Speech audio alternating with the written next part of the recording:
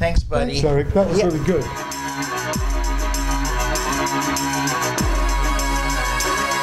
This is a Blairing Out with Eric Blair show today with legendary former drummer for Public Image Limited, Ministry, Nine Inch Nails, and Killing Joke, Martin Atkins. You're a producer, a writer, a engineer, a musician, a rock star. I don't know if I'm a rock star. How would you define the word rock star then if you don't think you're one? I came up through punk, and when, back in those days, the rock stars were the assholes on the pedestals who didn't talk to people, who didn't want to be bothered with uh, interacting with their fans.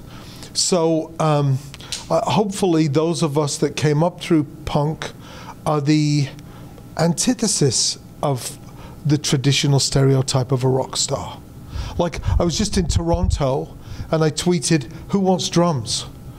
and I played drums with these two guys um, uh, who were working on an EP. I just went over and played drums. I don't think a, I don't think a rock star would do that. A rock star would have their manager call, like, "Hey, Martin's interested in playing drums. Let me have my attorney send the paperwork over. There'd be some kind of negotiation and a fee and some bullshit."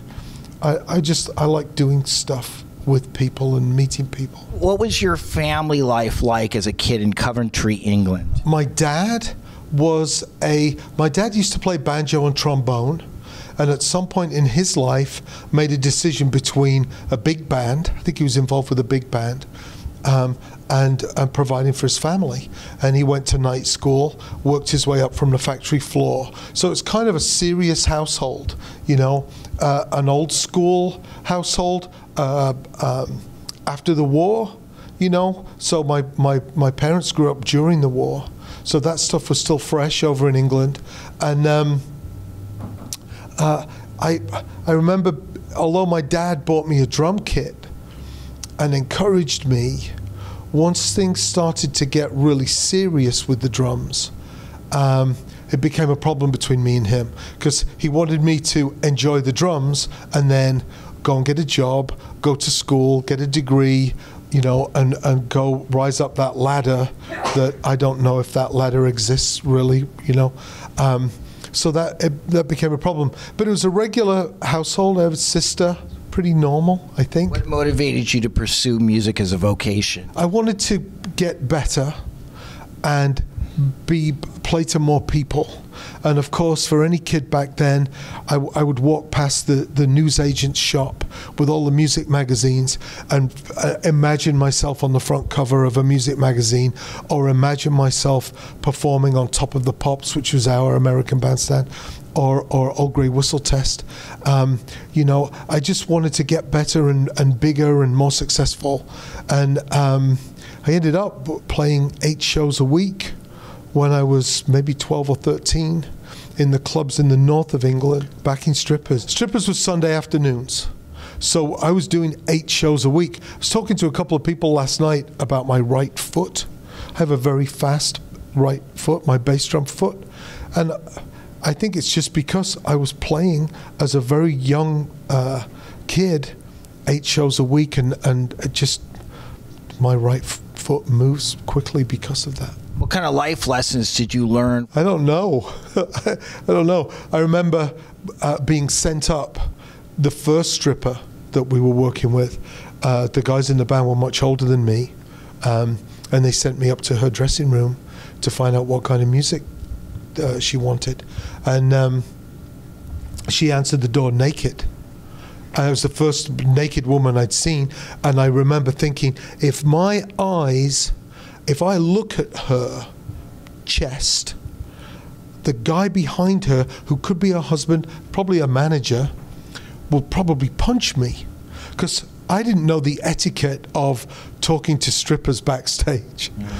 Um, and she, I said, well, "What kind of music would you like?" And she said, "Well, anything that, that goes with leather gear and whips." Like, and I just said, "Yeah, great." Like, what did I know? I had no idea what went with. Le- didn't know what leather gear and whips was anyway at the age of eleven. So I don't know if I, I got any life lessons from that, other than retrospectively questioning my parents uh, supervision of me. You know, it seems it didn't seem strange at the time. It seems more strange now looking back than it did at the time. How did you discover punk, two tone, and dub reggae music, and how invested in the local scene were you? So I was playing all the time. I practiced four or five hours a day. We were doing eight shows a week, and uh, technically proficient. And then here comes punk. Um, it was shocking to everybody. Um, it turned everything uh, upside down. There was no technical proficiency. Here's a chord, here's another, here's a third. Now start a band. And that was like, well, no, here's a chord, here's another, here's another, here's 20 more, go practice for two years and then maybe start a shitty band. So it felt threatening to me. And then some of my friends joined uh, punk bands. Um, a guy I knew uh, started playing drums for a band called Penetration, uh, who started to do quite well. Then I moved to London, and things were just electric down there uh, with punk, and it just just pulled you in. But also, the beginning of punk was quite broad. So you know, of course, you had Johnny Rotten and Sid Vicious, but Elvis Costello was a punk. The Cars were a punk band.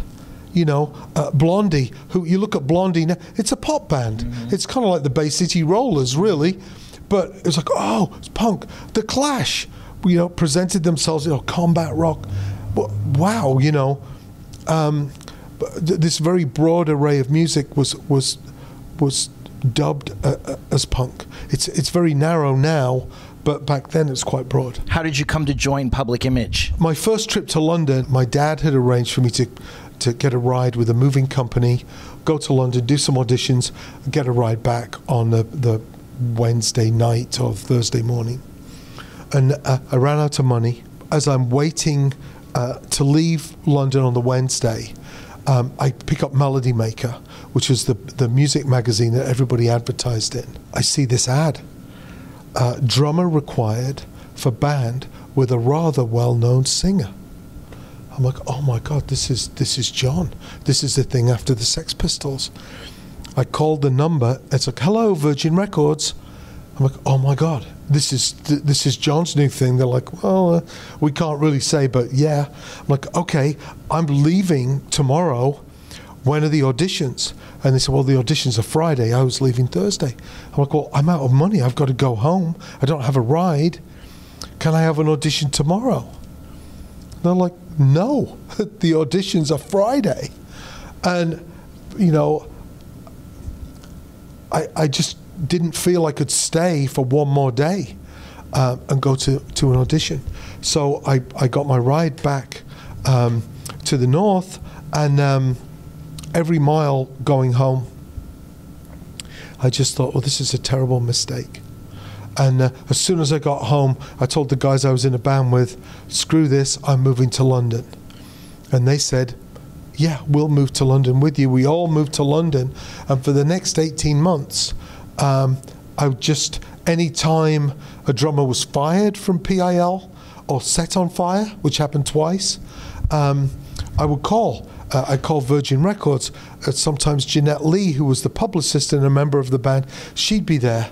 Um, she gave me a home number. Uh, one time she wasn't there, I ended up talking to her mum for an hour. So um, after maybe seven drummers in 18 months, um, I finally got my chance, which was ended up being to perform on the metal box, just one song on the metal box, just as they were finishing that up, which is pretty cool, really. How did your audition develop into you playing on Bad Baby for the Metal Box album? I walk into this room at the Townhouse in London, and it's now I know it, it, doesn't exist anymore, but it was the place that Phil Collins recorded "In the Air Tonight." Do do do do, do you know? Um, crazy studio. Studio A was the size of a basketball court, so I thought I was going to a rehearsal room. Why would I think otherwise? I did, never met any of them. And I walk into this room, and over in the distance there's a drum kit in the glass room. And uh, I go and sit behind the kit. Wobble picks up his bass, and in the in the headphones I hear rolling. I'm like, okay, do, do, do, do, do, do, do. Uh, yeah, great. And that Bad Baby is my first four minutes and 40 seconds with the band. Yeah. That's insane. Yeah, it was completely insane. And then I go back to my job. I was working for the government. Go back to my job for like a- a month before anything else happens. The next, you know, I'm on the metal box. We, I'm on the front cover of Melody Maker. We did the John Peel show. Um, it's crazy. Highlights of the metal box slash second edition period for you. It's difficult to underestimate the power of that packaging. You know, it changed the way I viewed how what records could be. You know, and that the, the box, that canister with the PIL logo. Dennis Morris. Yeah, but also the artistic hustle, muscle, willpower to have Richard Branson do that. You know, it was the exertion of a lot of different forces. To, not many bands could have made that packaging happen. Um, so, so that. Um, but Old Grey Whistle Test live television in the UK, the first uh, US tour in 1980. Um, the Palladium in New York, New York Times Review, the Olympic Auditorium here in LA, American Bandstand. I mean, and then Wobble quit after that tour. So, um, in a very brief period of time, oh, and in amongst there, there's the Paris show, which became Paris au Printemps. So within six months of me playing on Metal Box, I you could say I'd done most of the things that I wanted to do with my life. Live album, live TV, American tour, great reviews in the New York Times and the LA Times. Being a part of American Bandstand. Well, this is one of the things I'm I'm trying to get my head around. There are people who've described our performance on American Bandstand as questioning the structure of television, uh, you know, dismantling the framework of American society. All this, this uh, very highbrow, strategic uh, thinking allocated to us. The reality was that the two songs we did, Pop Tones and Careering, were too long. So Warner Brothers had the songs cut down by a minute and a half each. And at every hotel we stayed at in the, the month before we did American Bandstand, there was a room with a boombox where we were supposed to sit and listen to the edits so that we could mime accurately. And, you know, the beat remained the same, the songs weren't complicated. I think it was mainly for John. Um, honestly, all we knew about that hotel room was that we could order room service in that room and somebody else would pay for it. We, we paid for it, but Warner's would pay for it temporarily before billing it back to us. So when we, when we jumped onto the set of American Bandstand, we didn't know the songs. We had no idea of the cultural significance of that show. And it just became a cat and mouse game of John running away from the cameras so they couldn't see he didn't know where the where the words were anymore. We did a pretty good job of it.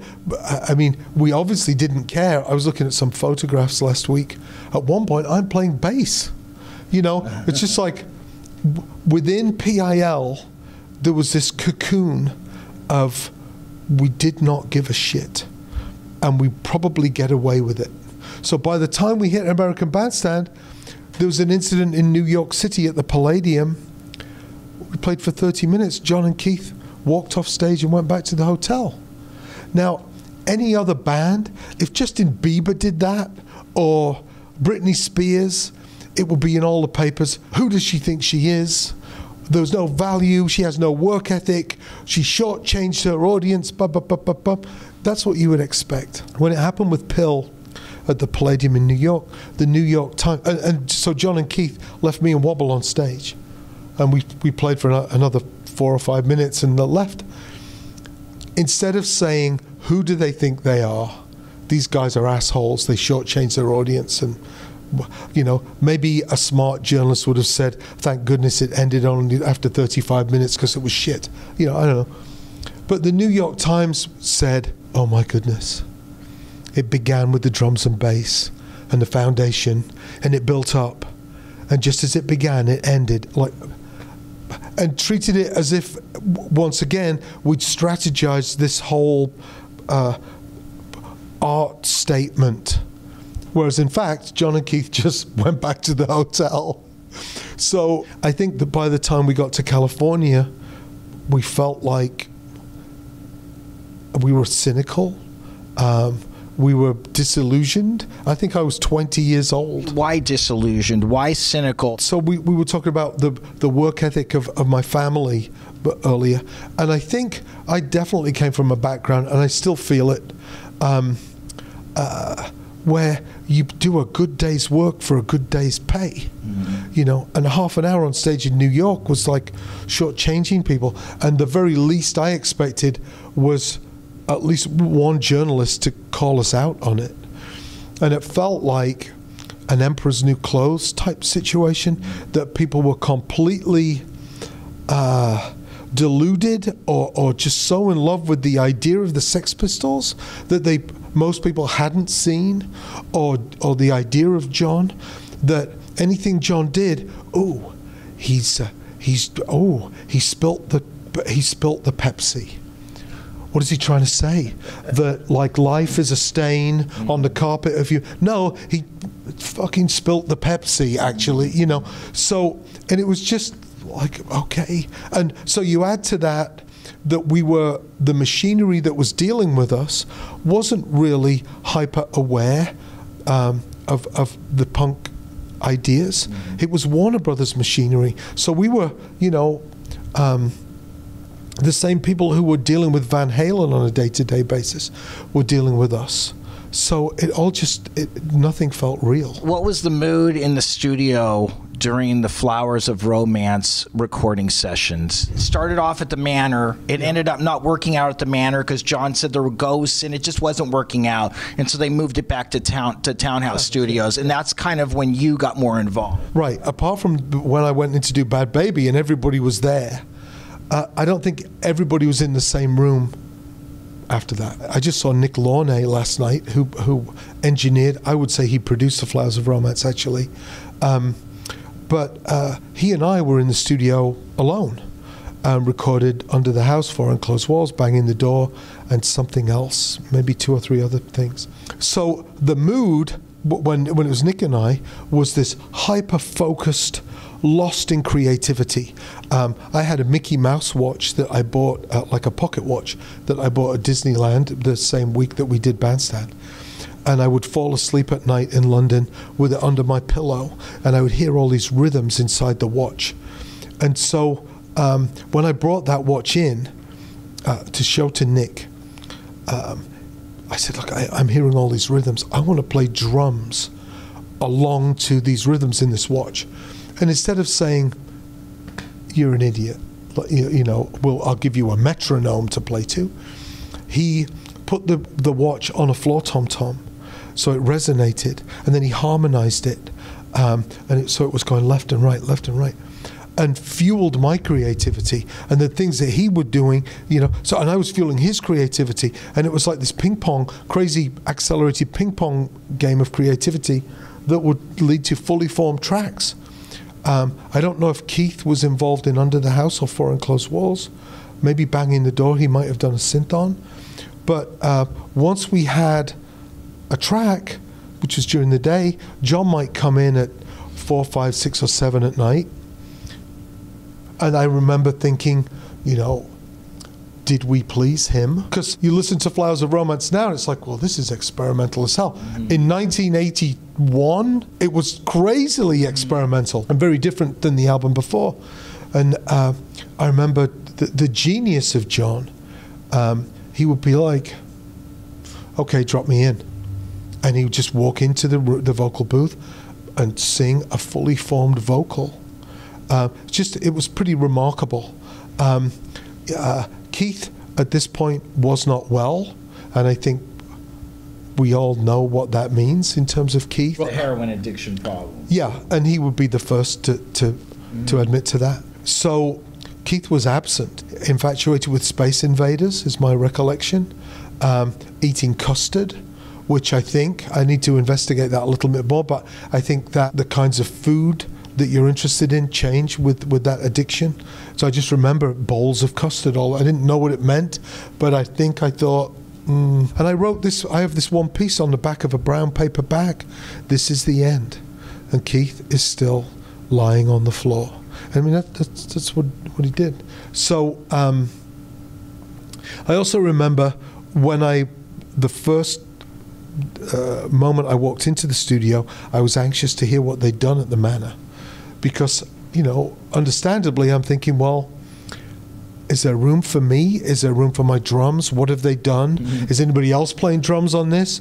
And they played me Twist and Shout, uh, the Beatles' original recording with the vocals on one side, the the instrumental on the other. They muted the vocals, and John sang over the top. I've never heard anything so punk in my life. Um, but clearly, that wasn't going to be a new PIL track. And clearly, a week had been spent at the manor and nothing had happened. So I guess I was lucky. You know, I was fired after that first American tour because um, I, I mouthed off. I mean, everything, the entire life cycle of a band happened in six months. Mm. I mouthed off on a radio interview, said everything was unprofessional. We needed a manager. It was a joke. And I think, I still think that was true then. Um, but uh, I understand that I was fired for saying that stuff ultimately. So it was it was interesting that they asked me back to to lay down some tracks and and it was a fantastic uh, few days. What did you learn from uh, producer Nick Launay? I think he was also 10 weeks into his career. He was an engineer at the time, but as I said, I would, the input, I would say that was production. The care he showed nurturing what were obviously pretty crazy ideas um, really uh, led to my ability to express myself and not be afraid of that.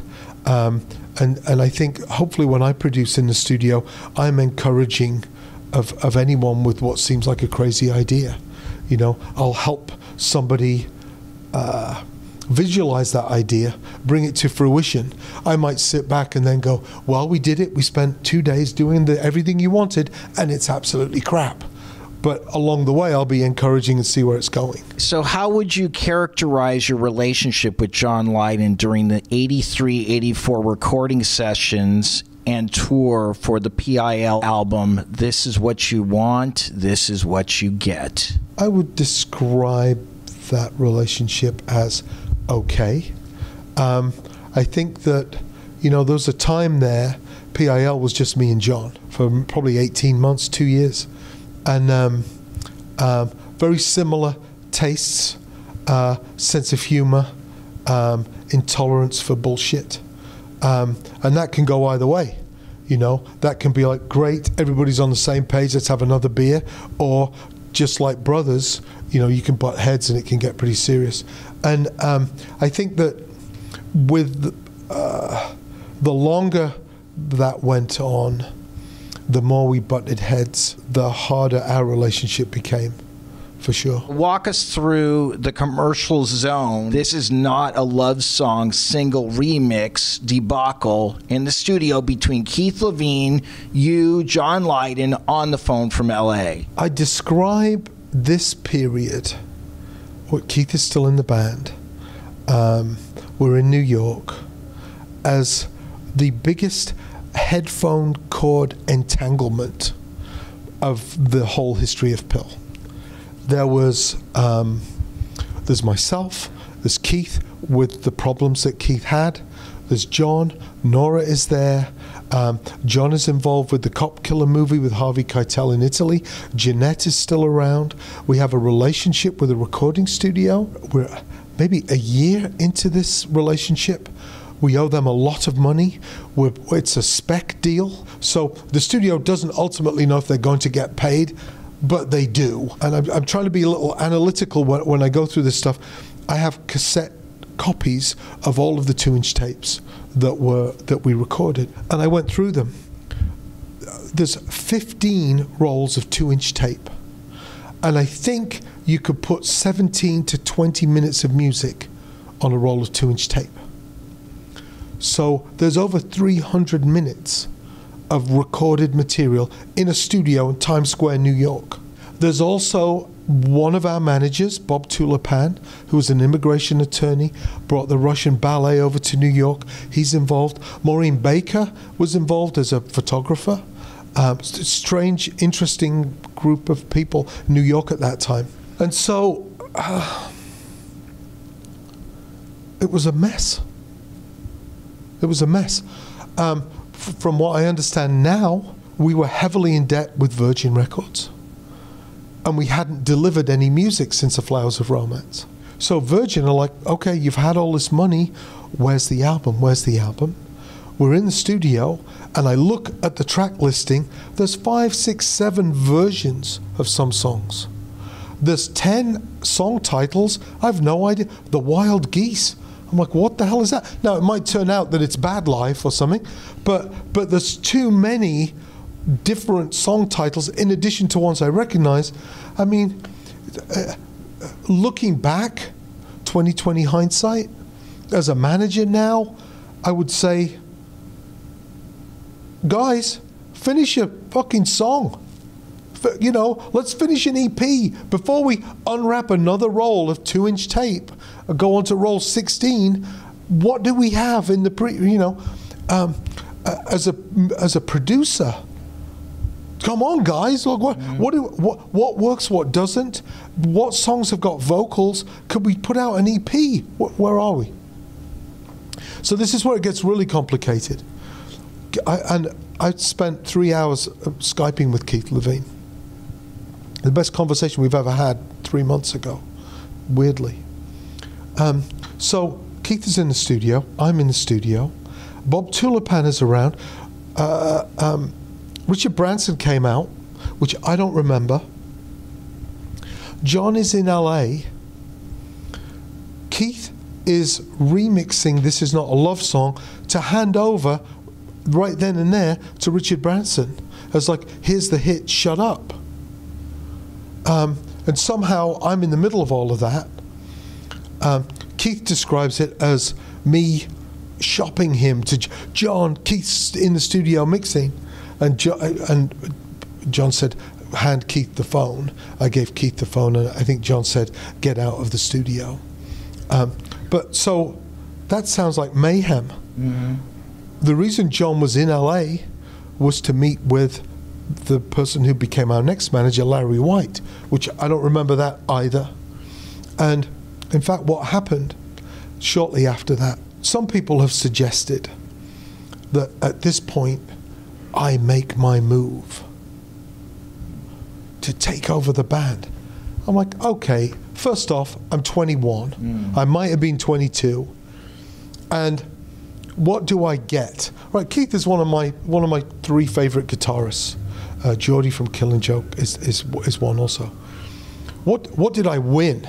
If if I was manipulating everything, what did I win? I won going to Japan with what what I dubbed the Holiday Inn version of the band, a bunch of hired musicians in tuxedos. That was my prize, you know. Um, and I think uh, Pete Jones, who, who said that, has since taken it back. Like, oh God, you know, so it was a mess. Sorry, but um, we had a meeting um, because the Japanese dates were looming.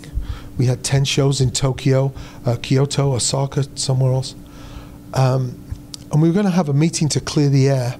And then Paul McCartney was arrested with eight ounces of weed. Um, he was in jail for 11 days, fined a million uh, pounds, I think.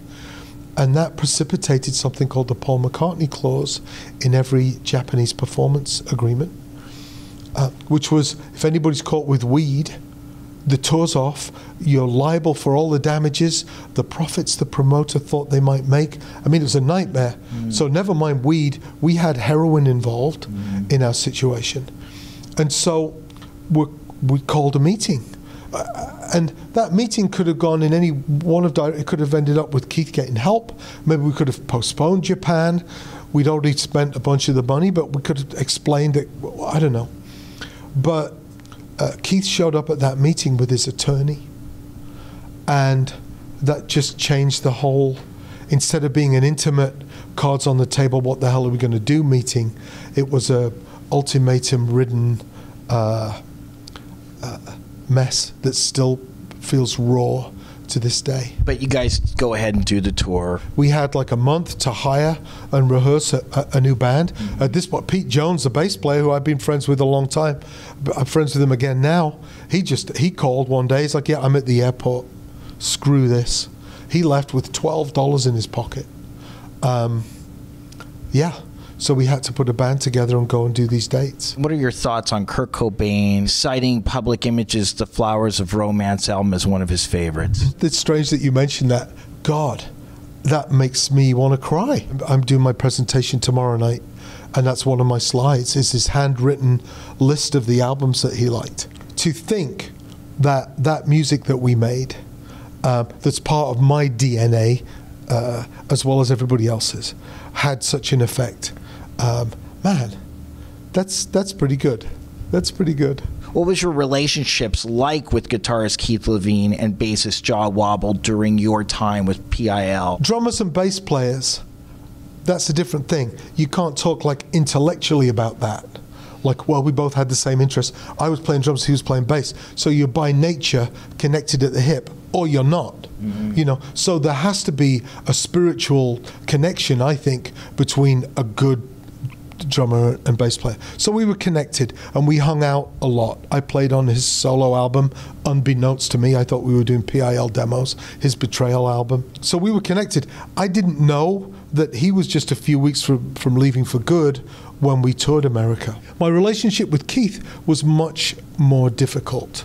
Um, uh, going back to my working class work ethic, I felt Keith was responsible for not being able to deliver um, live because of his problems.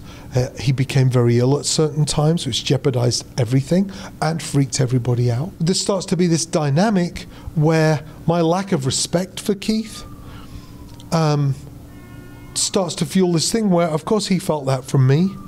Um, maybe he felt like he was a senior member of the band because he was, plus he'd been in the Clash. So he doesn't need to be getting shit from some drummer who's been in the band for eight months or a year or however long. So it's just this strange dynamic where I felt like his other problems were really starting to F things up.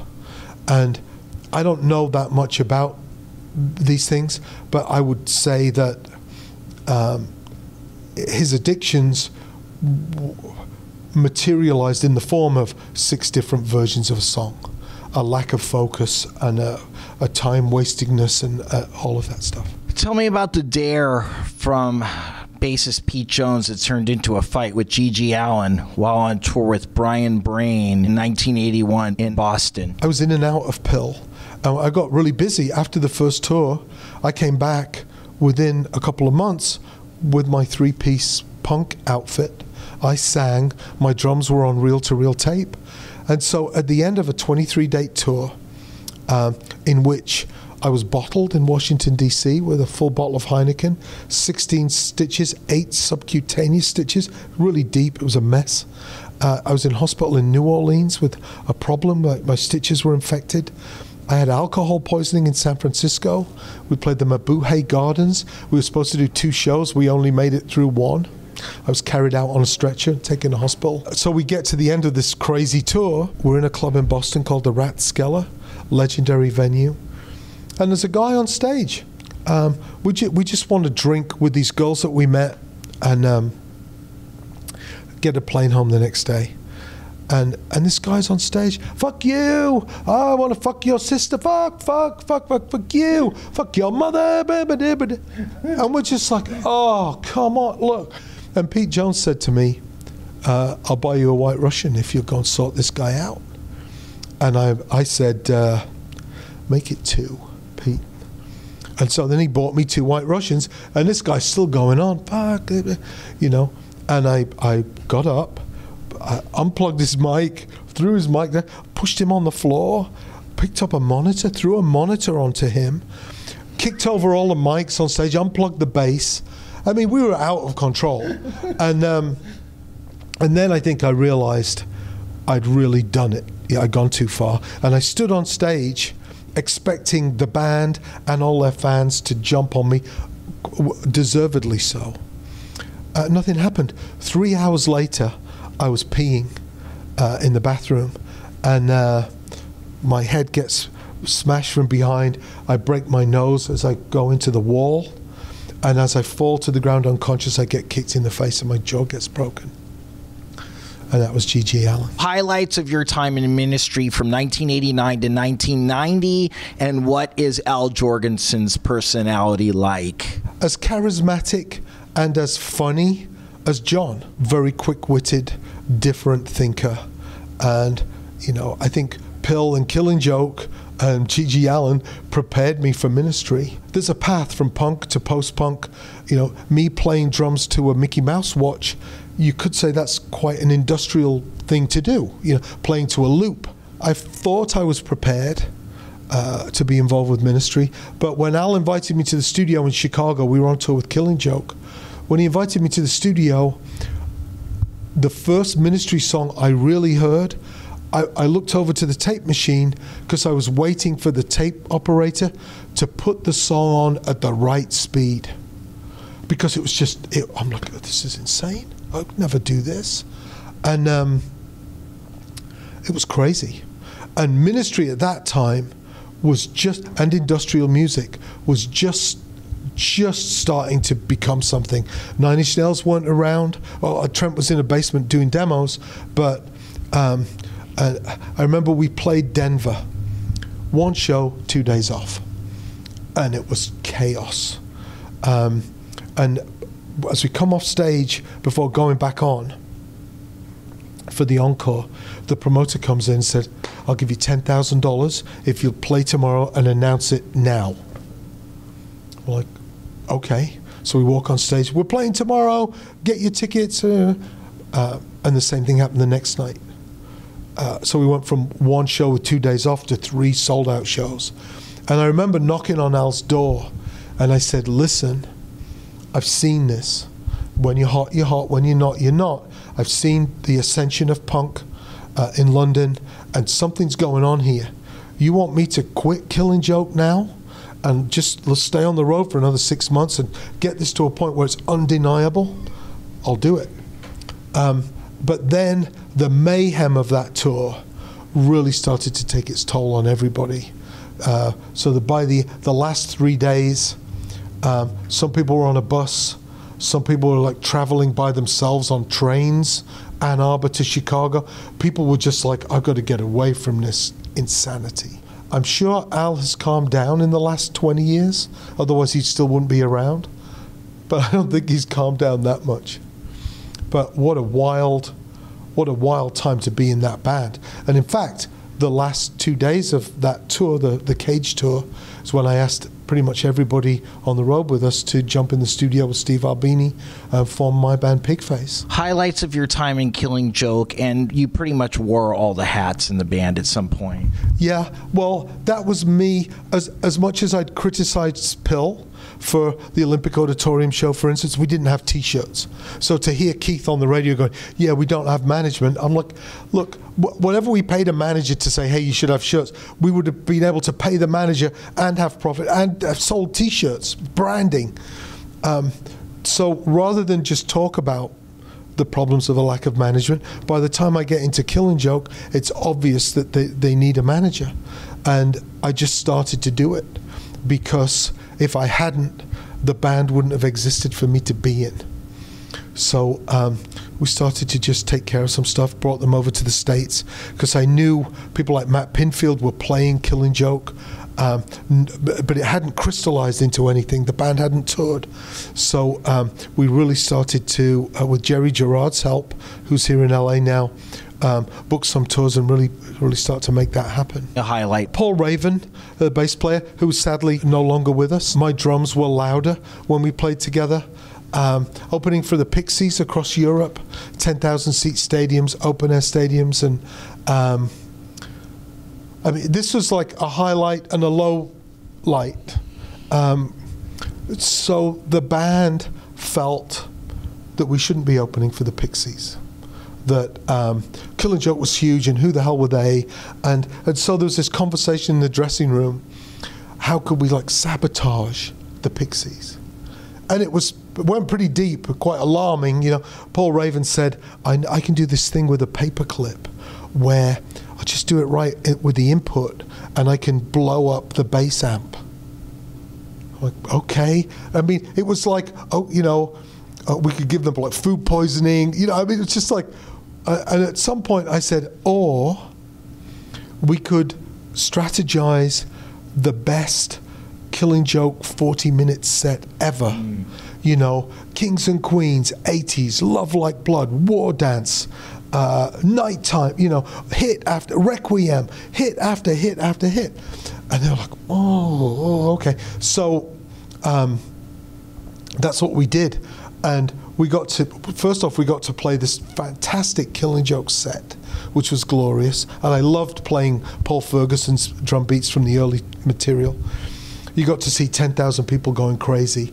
But the icing on that cake was you'd look over and see uh, Black Francis Charles from the Pixies and, uh, and the, the, the, the Deal twins shitting their pants, mm-hmm. you know, because we were killing it, and they had to. It's like, okay, follow that, and it was so sweet, but it was also it was bittersweet because that was the, the, last six months I had with the band. They started to get it, but there's so many other things going on. I just saw them um, uh, a month ago mm. in New York, maybe just three weeks ago, and uh, we're all friends now. I was best man at Geordie's wedding.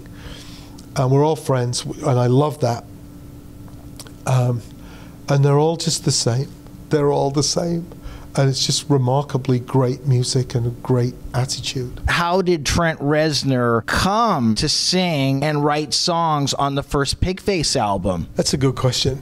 So, with my band Brian Brain, um, we had a song called Funky Zoo. Don't Google it. Um, but but at that time, just like with This Is Not a Love Song, the trend then, and Ministry had a track called Cold Life. You put horns on stuff. That's what we did. That's what everybody did. The big horn section. And uh, so um, that's what we did with this Brian Brain song. Let's go, bow, ba da da. This big horn section. So we come to tour the States. It's like, well, what are we going to do? And so I made a cassette tape and I sent it out to a bunch of people, sent it to my friend Tom in Cleveland. Please put a horn section together. And Trent played sax.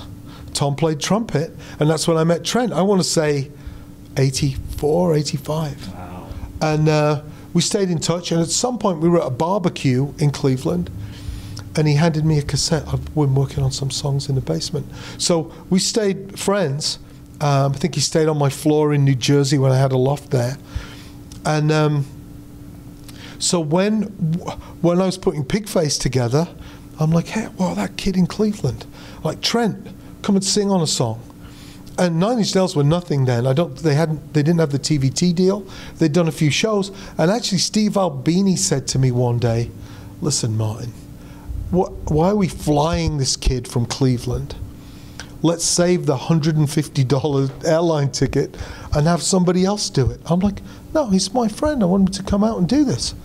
You know, and it's kind of a cool thing that, that, that, he's on there. So we wrote Suck together, and when Nine Inch Nails were, I'm in the Head Like a Hole video. That's me and Chris Vrenna. Mm-hmm. They recorded that at the Exit Club in Chicago. And then I went up to the Lake Geneva studio. Flood was producing that album, and I did a bunch of different drums, and, and The Beat for Wish was one of them. And you have a Grammy because of that yeah, that worked out okay. Well, tell me about Flood. The story I like to tell about Flood is, you know, I asked students, engineering students, where does his name come from? And they're like, oh, it has to do with uh, low end frequencies flooding your senses. I'm like, no.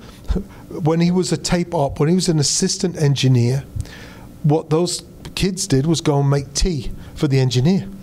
And there were two assistants at this one studio. One was Flood, and he filled the, the teacups all the way to the top. And there was another kid called Drought who sensibly left an inch on the cups of tea so there's no possibility of spilling it on the on the equipment. And you'd think that people would ask for drought mm. because he was sensible and everything was safe. Everybody asked for flood because he filled the cups all the way to the top. And so he got his beginning not because of his skills, which are obviously huge, but because of this other thing. Organically and spiritually, what do you think he brings to the table? Insight, empathy, depth so I, you know, you could see him on. Uh, there's a there's a documentary with uh, 30 Seconds to Mars called Artifact. as far as a secular a view of how the music business really is, that is the truth. Right. You see Flood trying to help them navigate that stuff. And that's what a good producer does. To me, you know, some people think a producer can mix, use all the controls, understand frequencies. Yes. But you also need to understand uh, psychological makeup and profile of a performer, the things that drive people. And you also have to be humble enough that if the only thing you can contribute is doing someone's laundry, you should do their laundry. You, if you want to help, you should help. And I see that in Flood, certainly. Did you spend any time with Sir Richard Branson, the owner of Virgin Records, and 400 other multi billion dollar organizations? Looking back, the time that we did spend, because he was running Virgin Records then, um, himself and a guy called Simon Draper, his CEO. Any time that we spent, I think, I, I think about my attitude as a 20 year old punk. He was the record label scum. You know, I think anything he said was like, yeah, you know. Uh, in, in retrospect, he supported a very difficult band to work with at a crazy time for everybody. Um, I've seen him a few times since. I saw him on the inaugural flight from LA to Chicago. I've seen him at the Virgin Hotel in Chicago. And uh, he's been very nice, and he says he remembers me. I don't, I don't think he does. But it's really nice that he pretends that he might. Isn't it funny how when, when we're kids, we just think we know it all, and then we look back and we're sorry? Hey, these people were actually trying to help us. Yeah, we're just idiots. Yeah. Yeah, there's nothing you can do though. My eldest son is 23. I have four boys, and you can't tell people what the deal is. They have to touch the wet paint for themselves. She worked for Acme Attractions, which was owned by Vivienne Westwood and Malcolm McLaren. Now she owns Rough Trade Records. What do you remember about Jeanette Lee? This was 79. And, you know, the traditional rock and roll things like who are the members of the band and how proficient are they on their instruments. PIL was different. When I was on the front cover of Melody Maker, it was me, Wobble, Keith, John, Jeanette, and Dave Crowe, our accountant.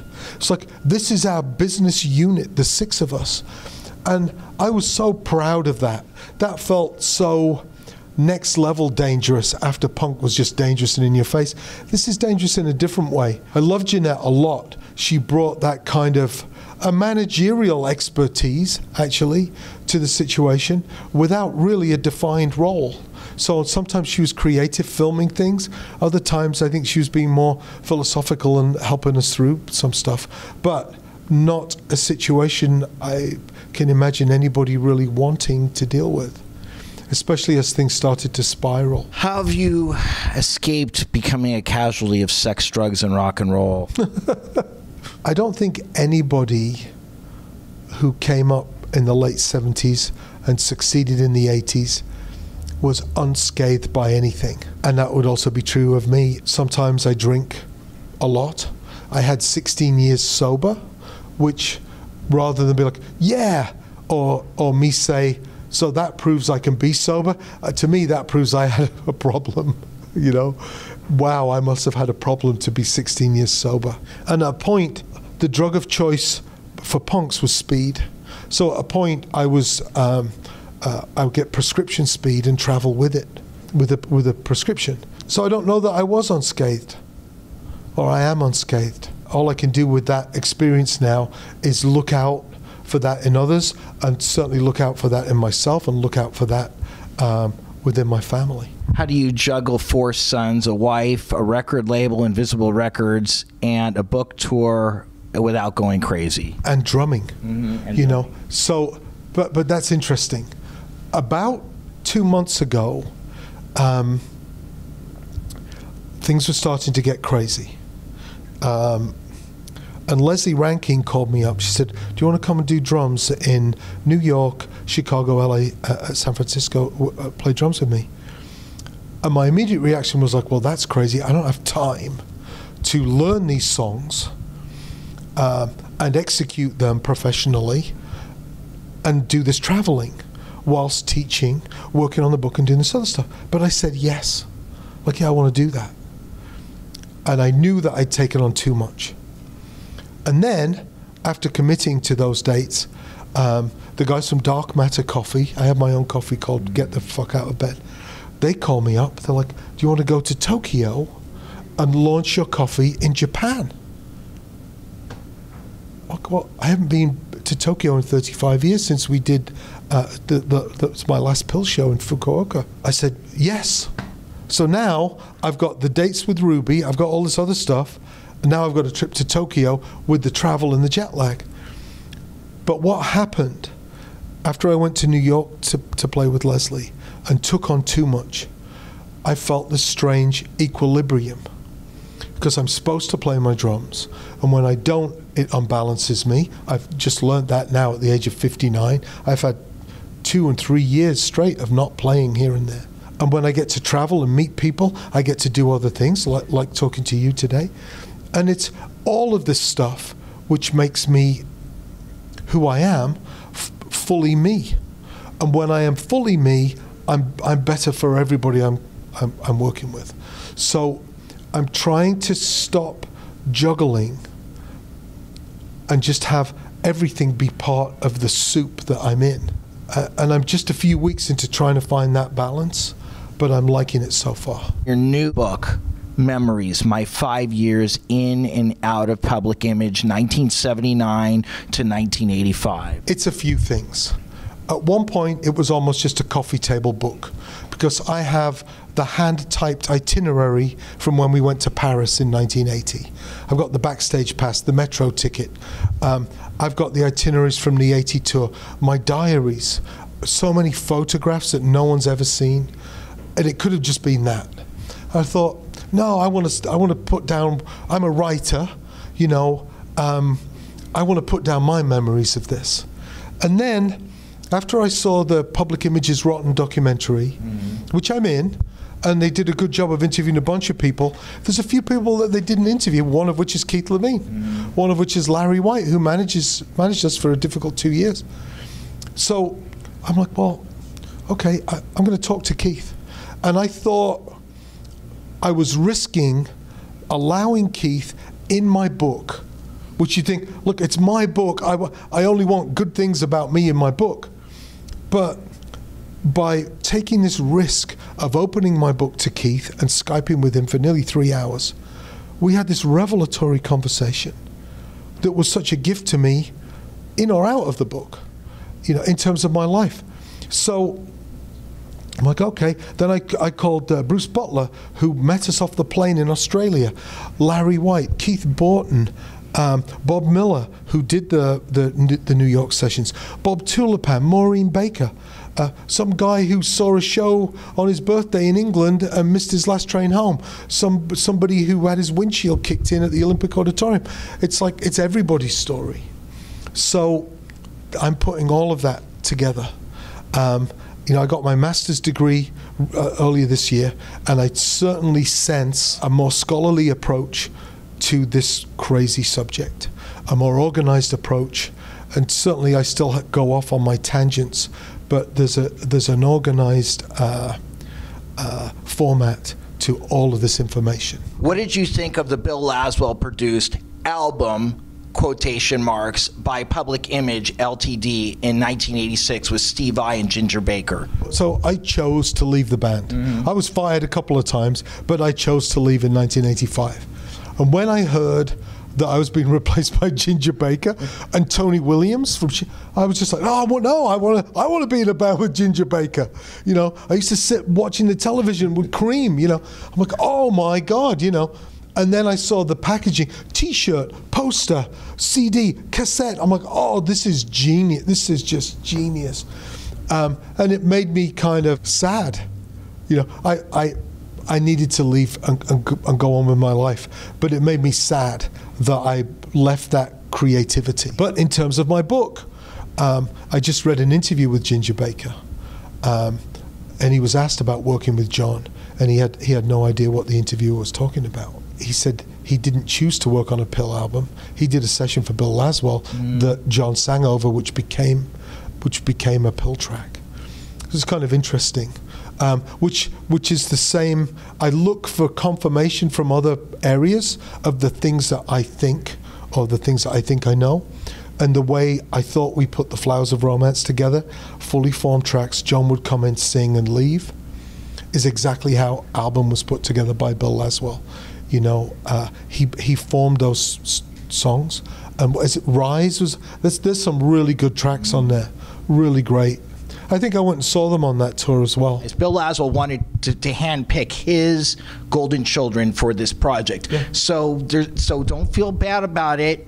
You, you, you even if you had been in the band, he might have said, "There's the door." well, yeah, but there's there's one thing that, that I don't know if it exists in PIL anymore, which is I would have said, yeah, fuck off, Bill. I've been in the band for five years. I'm not leaving now. You know, John, let's. What do we do? You know, James Murphy from LCD Soundsystem sent me a button. He made me a button that said it took Ginger Baker and Tony Williams to replace me. Exactly. Well, well, I'm supposed to wear this button. Like, it was nice that he did it. But and it's true. It's true. Red Stripe. Why is it such an important beer? Wow. Yeah, I so I think the title of my New York chapter of my book is going to be Red Stripe, White Lines. I- it's just we were everybody in England at that time we were infatuated with dub, um, and a huge Jamaican scene.